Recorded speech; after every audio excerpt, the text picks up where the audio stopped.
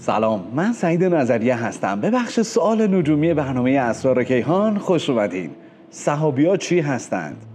صحابی ها زیباترین زایشگاه و قبرستان ستاره ای هستند که در فضاهای مختلف کهکشانی در اطراف اجرام آسمانی وجود دارند در حقیقت آنها توده های از ذرات گاز و غبار میان ستاره ای هستند که معمولا از مرگ ستاره ها ایجاد می شوند و می توانند دوباره ستاره های جدیدی را متولد کنند. بسته به نوع عناصری که در آنها وجود دارد صحابی ها به رنگ های متنوعی در می آیند اما معمولا از سیاره زمین آنها را سیاه و سفید می بینیم که بعدا توسط دانشمندان پردازش و رنگامیزی علمی می شوند. صحابی ها انواع مختلفی دارند. از صحابی های نشری و باستابی تا صحابی های تاریک و حتی سیار نما. ظاهر آنها گاهی انقدر جذاب میشه که اشکال مختلفی رو در ذهن ما می‌سازه که باید بگم همهشون اتفاقی و فقط از زاویه نگاه ما اینجوری دیده میشن ابعاد اونها هم خیلی جالبه.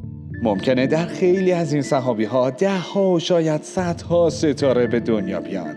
پس خودتون مقایسه کنید که هر کدوم از این صحابیات چقدر می‌تونن بزرگ باشند برای نمونه یکی از صحابی های قشنگ کهکشان راه شیری صحابی زیبای جهباره که اتفاقا در یک شب صاف و پرستاره شما هم می‌تونید اون رو فقط یکم پایین تر از کمربند صورت فلکی شکارچی با چشمانتون بدون داشتن تلسکوپ شبیه به یک توده کوچک مهالو تماشا کنید.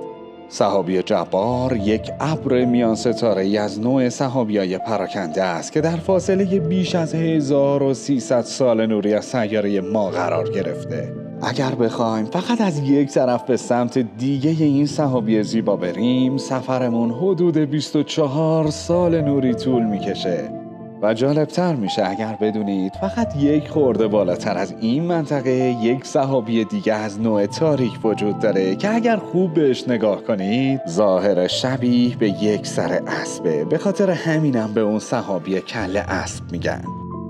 وای که چقدر دنیای کیهانی و صحابی های رنگ و برنگش قشنگه. شما هم می‌تونید سوالای نجومی خودتون رو همینجا بپرسید تا خیلی کوتاه به اونها جواب بدیم.